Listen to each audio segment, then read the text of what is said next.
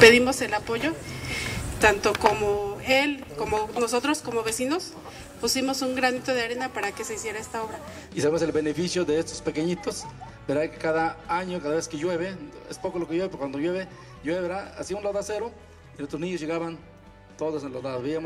Agradecemos bastante a nombre de nuestros compañeros, de maestros, ¿verdad? El Comité Padre Familia que pues, hemos estado apoyando también con la, nuestra vecina, ¿verdad? nuestros vecinos y más que nada nos están beneficiando arriba de, la mañana es un promedio de arriba de 500 alumnos. Y digo, y vemos ese, ese gran apoyo que nos han dado ustedes, en nombre de nuestro presidente municipal también, vemos este resultado. Ahora, yo se les agradezco